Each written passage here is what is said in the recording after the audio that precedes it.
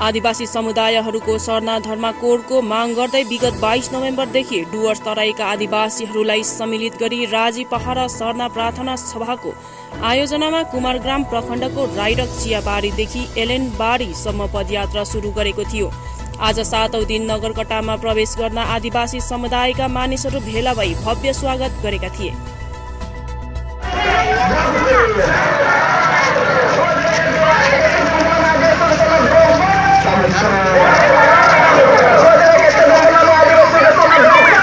maestro de la